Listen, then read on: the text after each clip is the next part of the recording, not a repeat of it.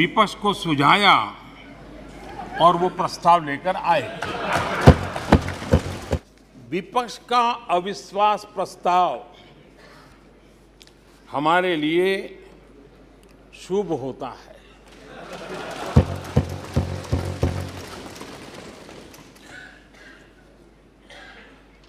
और मैं आज देख रहा हूँ कि आपने तय कर लिया है कि एनडीए और बीजेपी 2024 के चुनाव में पुराने सारे रिकॉर्ड तोड़ करके भव्य विजय के साथ जनता के आशीर्वाद से वापस आएँगे।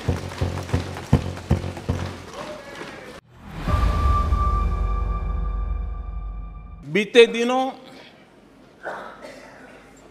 इसी सदन ने और हमारे दोनों सदन ने Jan Vishwas bill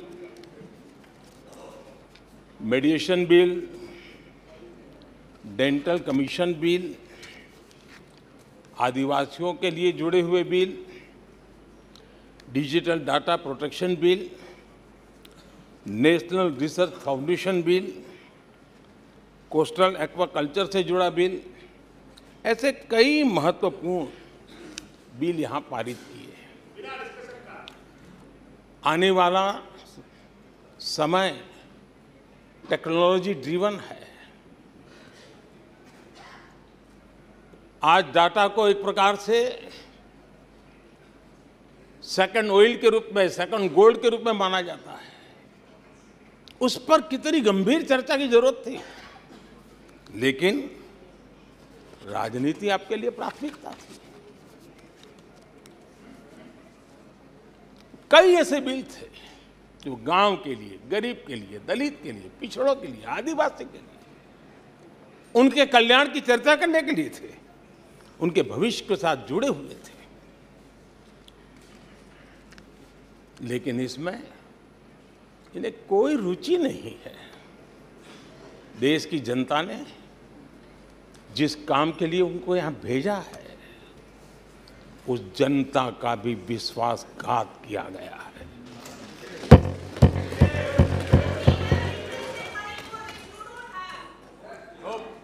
विपक्ष के कुछ दलों के लिए उनके आचरण से, उनके व्यवहार से उन्होंने सिद्ध कर दिया है कि देश से ज़्यादा उनके लिए दल है। देश से बड़ा दल है। देश से पहले प्राथमिकता दल है। मैं समझता हूँ, आपको गरीब के भूख की चिंता नहीं है, सत्ता की भूख यही आपके दिमाग पे सवार है। अविश्वास पर, प्रस्ताव पर भी आपने कैसी चर्चा की? और तो मैं तो देख रहा हूँ सोशल मीडिया में आपके दरबारी भी बहुत दुखी है। यह हाल है आपका? और अध्यक्ष जी, देखिए, मज़ा इस डिबेट का कि फील्डिंग विपक्ष ने ऑर्गेनाइज की, लेकिन चौके छक्के यहीं से लगे।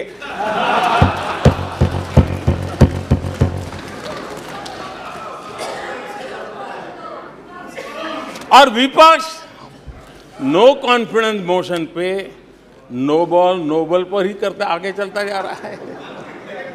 इधर से सेंचुरी हो रही है, उधर से नो बॉल हो रहे हैं।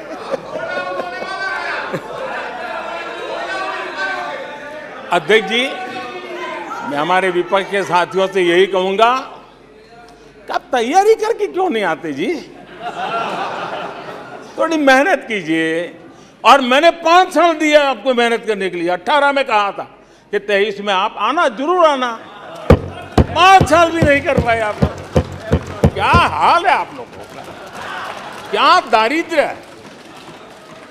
आज गरीब के दिल में अपने सपने पूरा करने का भरोसा पैदा हुआ है। आज देश में, आज देश में गरीबी तेज़ी से घट रही है। नीति आयोग के रिपोर्ट के अनुसार पिछले पाँच साल में साढ़े तेरह करोड़ लोग गरीबी से बाहर आए हैं।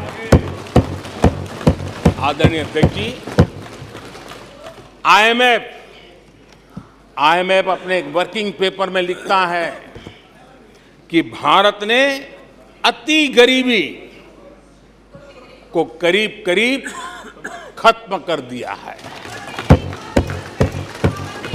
आईएमएफ ने भारत के डीबीटी के और और दूसरे हमारे सोशल वेलफेयर स्कीम के लिए आईएमएफ ने इसे कहा है, ये लॉजिस्टिकल मार्बल है। आदरणीय अध्यक्ष जी डब्ल्यूएचओ ने कहा है, आदरणीय अध्यक्ष जी वर्ल्ड हेल्थ ऑर्गेनाइजेशन ने कहा है। कि जल जीवन मिशन के ज़रिए भारत में चार लाख लोगों की जान बच रही है। यूनिसेफ ने क्या कहा है? यूनिसेफ ने कहा है कि स्वच्छ भारत अभियान के कारण हर साल गरीबों के पचास हज़ार रुपये बच रहे हैं। ये लेकिन भारत की इन उपलब्धियों से भारत की इन उपलब्धियों से कांग्रेस समेत विपक्ष के कुछ लोग दलों को अविश्वास है। पिछले तीन दिन से भी हमारे विपक्ष के साथियों ने जी भर करके, डिक्शनरी खोल खोल करके जितने अपशब्द मिलते हैं ले आए जितने अपशब्दों का उपयोग कर सकते हैं, भरपूर, पता नहीं कहाँ कहाँ से ले आते और उनके लिए तो सबसे प्रिय नारा क्या है? मोदी तेरी कब्र खुदेगी। मोदी तेरी कब्र खुदेगी। मोदी तेरी कब्र खुदेगी। ये इनकी पसंदीदा नारा है। लेकिन मेरे लिए मेरे लिए इनकी ये गालियाँ, ये अपशब्द, ये अलोकतांत्रिक भाषा, मैं उसका भी टॉनिक बना देता हूँ। कि विपक्ष के लोगों को एक सीक्रेट वरदान मिला हुआ है। हाँ।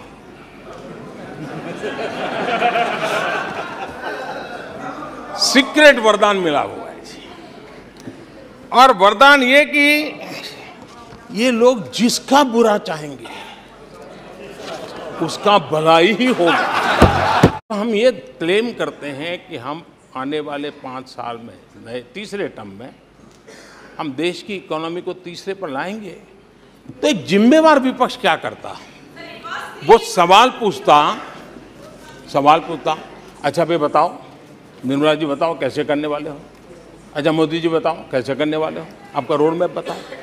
ऐसा करते अब ये भी मुझे सिखाना पड़ रहा है।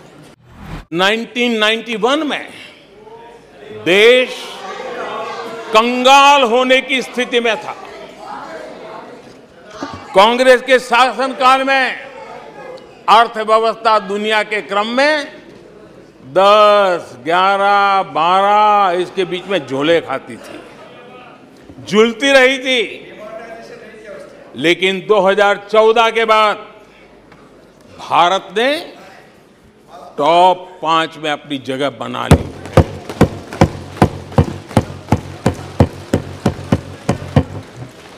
कांग्रेस के लोगों को लगता होगा कि कोई जादू से लकड़ी से हुआ है। लेकिन मैं आज सदन को बताना चाहता हूँ, माननीय अध्यक्ष रिफॉर्म, परफॉर्म एंड ट्रांसफॉर्म एक निश्चित आयोजन प्लानिंग और कठोर परिश्रम। परिश्रम की पराकाष्ठा। और इसी की वजह से आज देश इस मुकाम पर पहुँचा है। और ये प्लानिंग और परिश्रम की निरंतरता बनी रहेगी। आवश्यकता अनुसार उसमें नए रिफॉर्म होंगे। और परफॉर्मेंस के लिए पूरी तरह ताकत को लगाया जाएगा। और परिणाम ये होगी कि हम तीसरे नंबर पर पहुँच के रहेंगे। 2028 में 2028 में आप जब अविश्वास प्रस्ताव लेके आएँगे, तब ये देश पहले तीन में होगा, ये देश का विश्वास। है तमिलनाडु में कांग्रेस की आखिरी बार 1962 में जीत हुई थी। इकसठ वर्षों से तमिलनाडु के लोग कह रहे हैं, कांग्रेस नो कॉन्फिडेंस तमिलनाडु के लोग कह रहे हैं कांग्रेस। पश्चिम बंगाल में उन्हें आखिरी बार जीत 1972 में मिली थी। पश्चिम बंगाल के लोग इक्यावन सालों से कह रहे हैं, कांग्रेस कांग्रेस, उत्तर प्रदेश और बिहार और गुजरात, कांग्रेस आखिरी 1985 में जीती थी। पिछले 38 वर्षों से वहाँ के लोगों ने कांग्रेस को कहा है, वहाँ के लोगों ने कांग्रेस को कहा है, त्रिपुरा में उन्हें आखिरी बार 1988 में जीत मिली थी। 35 वर्षों से त्रिपुरा के लोग कांग्रेस को कह रहे हैं। कांग्रेस कांग्रेस ओडिशा में कांग्रेस को आखिरी बार 1995 में जीत नसीब हुई थी यानी ओडिशा में भी 28 वर्षों से कांग्रेस को एक ही जवाब दे रहा है उड़ीसा कह रहा है नो कॉन्फिडेंस नागालैंड में कांग्रेस की आखिरी जीत 1988 में हुई थी। यहाँ के लोग भी 25 वर्षों से कह रहे हैं, कांग्रेस कांग्रेस। दिल्ली, आंध्र प्रदेश और पश्चिम बंगाल में तो एक भी विधायक खाते में नहीं है। दूर युद्ध से भागते। दूर युद्ध से भागते, नाम रखा रणधीर। दूर युद्ध से भागते, नाम रखा रणधीर। भाग्य चंद की आज तक भाग्य चंद की आज तक सोई है तकदीर। भाग्य चंद की आज तक सोई है तकदीर। आदरणीय अध्यक्ष जी, इनकी मुसीबत ऐसी है कि खुद को ज़िंदा रखने के लिए, खुद को ज़िंदा रखने के लिए इनको एनडीए का ही सहारा लेना पड़ा है। ये इंडिया गठबंधन नहीं है। ये इंडिया गठबंधन नहीं है, एक गमंडिया गठबंधन है। ये इंडिया गठबंधन नहीं है गमंडिया गठबंधन है। और इसकी बारात में हर कोई दूल्हा बनना चाहता है। सबको प्रधानमंत्री बनना है। आज जो हालत इसलिए मैं कहना चाहता हूँ, अभी हालात ऐसे हैं, अभी हालात ऐसे हैं, इसलिए हाथों में हाथ। अभी हालात ऐसे हैं, इसलिए हाथों में हाथ। जहाँ हालात तो बदले जहाँ हालात तो बदले, फिर छुरियाँ भी निकलेगी। गमंडिया गठबंधन, देश में परिवारवाद की राजनीति को सबसे बड़ा प्रतिबिंब है। देश के स्वाधीनता सेनानियों ने, हमारे संविधान निर्माताओं ने, हमेशा परिवारवादी राजनीति का विरोध किया था।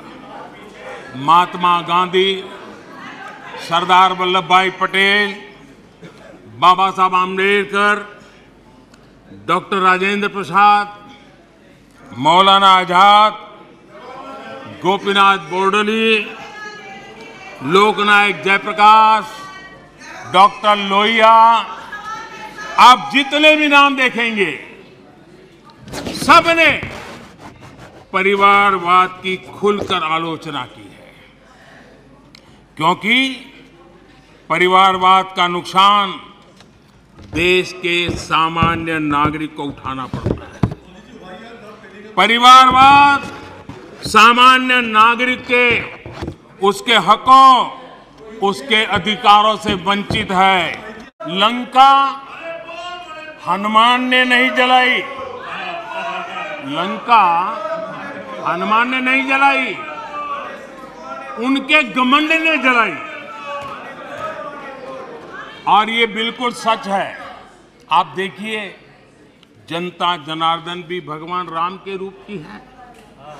जनता जनार्दन भी भगवान राम के रूप की है। और इसलिए 400 से 40 हो गए। हनुमान ने लंका नहीं जलाई गमंड ने जलाई, और इसलिए 440 हो गए 400 से 40 हो गए। आदरणीय अध्यक्ष जी,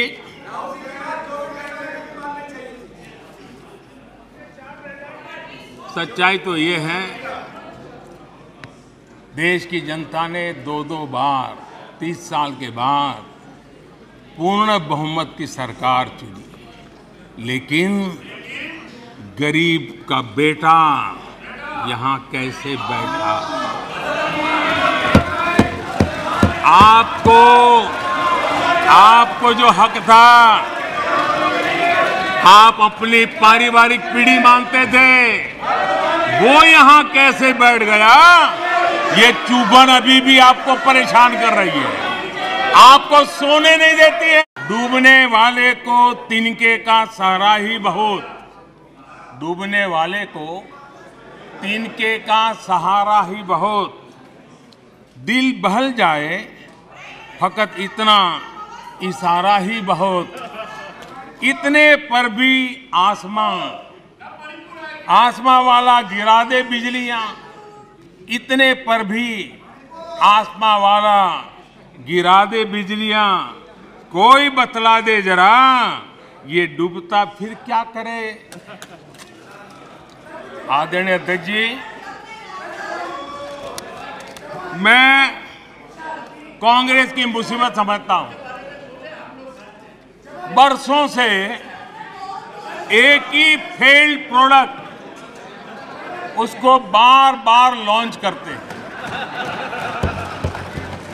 हर बार लॉन्चिंग फेल हो जाती देश की जनता भी कह रही है, ये है लूट की दुकान।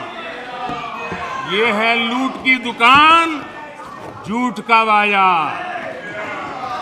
ये है लूट की दुकान झूठ का बाज़ार। इसमें नफरत है, घोटाले हैं, तुष्टीकरण है, मन काले हैं। परिवारवाद की आग के दशकों से देश हवाले है। और तुम्हारी दुकान ने और तुम्हारी दुकान ने इमरजेंसी बेची है, बंटवारा बेचा है, सिखों पर अत्याचार बेचा है, झूठ कितना सारा बेचा है, इतिहास बेचा है, उरी के सच के प्रमाण बेचा है शर्म करो, नफरत की दुकान वालों। तुमने सेना का स्वाभिमान बेचा। मणिपुर में अदालत का एक फैसला आया। अब अदालतों में क्या हो रहा है वो हम जानते हैं। और उसके पक्ष विपक्ष में जो परिस्थितियाँ बनी, हिंसा का दौर शुरू हो गया। और उसमें बहुत परिवारों को मुश्किल हुई। अनेकों ने अपने स्वजन भी खोए। महिलाओं के साथ गंभीर अपराध हुआ। और ये अपराध अक्षम्य है।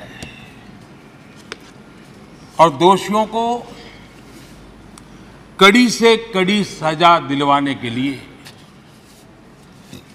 केंद्र सरकार, राज्य सरकार मिलकर के भरपूर प्रयास कर रही है। और मैं देश के सभी नागरिकों को आश्वस्त करना चाहता हूँ कि जिस प्रकार से प्रयास चल रहे हैं, निकट भविष्य में शांति का सूरज ज़रूर उगेगा। मणिपुर फिर एक बार नए आत्मविश्वास के साथ आगे बढ़ेगा। मैं मणिपुर के लोगों से भी आग्रहपूर्वक कहना चाहता हूँ।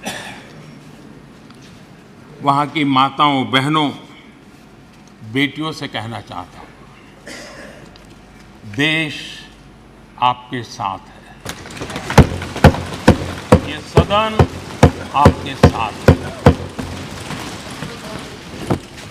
हम सब मिलकर के, कोई यहाँ हो या ना हो हम सब मिलकर के इस चुनौती का समाधान निकालेंगे। वहाँ फिर से शांति की स्थापना होगी। मैं मणिपुर के लोगों को विश्वास दिलाता हूँ कि मणिपुर फिर विकास की राह पर तेज गति से आगे बढ़े। उसमें कोई प्रयासों में कोर कसर नहीं रहेगी। ये वो लोग जिन्होंने माँ भारती के तीन तीन टुकड़े कर दिए। जब माँ भारती की गुलामी की जंजीरों से मुक्त कराना था, जब माँ भारती की जंजीरों को तोड़ना था, बेड़ियों को काटना था, तब इन लोगों ने माँ भारती की भुजाएँ काट दी। माँ भारती के तीन तीन टुकड़े कर दिए। और ये लोग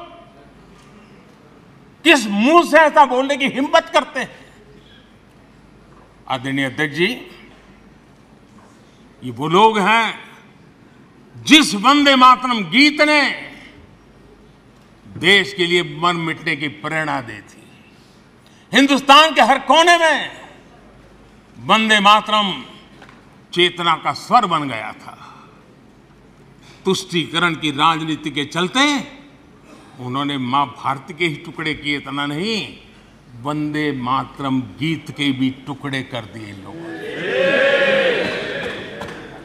ये वो लोग हैं, माननीय अध्यक्ष जी, जो भारत तेरे टुकड़े होंगे। ये गैंग, ये नारा लगाने वाले लोग, इनको बढ़ावा देने के लिए, उनका प्रोत्साहन करने के लिए पहुँच जाते हैं। मणिपुर की समस्याओं को ऐसे प्रस्तुत किए जा रहा है, जैसे बीते कुछ समय में ही वहाँ ये परिस्थिति पैदा हुई है। कल अमित भाई ने विस्तार से बताया है, समस्या क्या है, कैसे हुआ है। लेकिन मैं आज बड़ी गंभीरता से कहना चाहता हूँ, नॉर्थ ईस्ट की इन समस्याओं की कोई जननी है तो जननी एकमात्र कांग्रेस है। नॉर्थ ईस्ट के लोग इसके लिए जिम्मेवार नहीं हैं। इनकी ये राजनीति जिम्मेवार। प्रकार से साउथ ईस्ट एशिया का विकास हो रहा है, जिस प्रकार से आसियान देशों में का महत्व बढ़ रहा है, वो दिन दूर नहीं होगा। हमारे ईस्ट की इस प्रगति के साथ साथ नॉर्थ ईस्ट वैश्विक दृष्टि से सेंटर पॉइंट बनने वाला हर भारतीय विश्वास से भरा हुआ है। आदरणीय अध्यक्ष जी, आज का भारत न दबाव में आता है, न दबाव को मानता है। आज का भारत न झुकता है, आज का भारत न थकता है, आज का भारत न रुकता है। तो समृद्ध विरासत, विश्वास लेकर के, संकल्प लेकर के चली है और यही कारण है जब देश का सामान्य मानवीय देश पर विश्वास करने लगता है तो दुनिया को भी हिंदुस्तान पर विश्वास करने के लिए प्रेरित आज जो दुनिया का विश्वास भारत के प्रति बना है, उसका एक कारण भारत के लोगों का खुद पर विश्वास बढ़ा जो नींव आज मजबूती के साथ आगे बढ़ रही है, उस नींव की ताकत है कि 2047 में हिंदुस्तान विकसित हिंदुस्तान होगा, भारत विकसित भारत होगा, साथियों। और ये देशवासियों के परिश्रम से होगा, देशवासियों के विश्वास से होगा, देशवासियों के संकल्प से होगा, देशवासियों की सामूहिक शक्ति से होगा, देशवासियों की अखंड एक नाच पुरुषार्थ होने वाला है ये मेरा विश्वास